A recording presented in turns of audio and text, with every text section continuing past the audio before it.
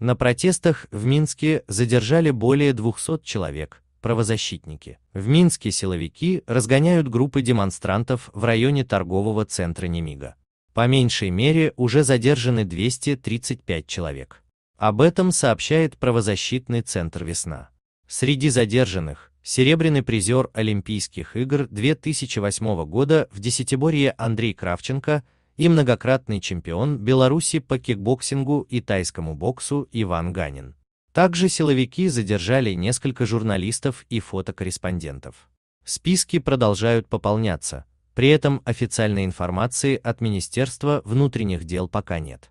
Ранее участники акции протеста не смогли собраться на площади Свободы и в районе улицы Немига в Минске, которые под контроль взяли силовики и провели там точечные задержания.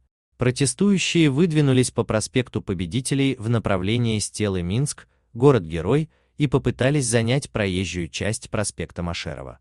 Напомним, сегодня в 11 часов ровно в Минске начался марш народовластия. Жители Минска собираются у ратуши на площади Свободы и Немиги. С 10 часов ровно в Минске уже отключен мобильный интернет по требованию государственных органов, а также закрыто метро.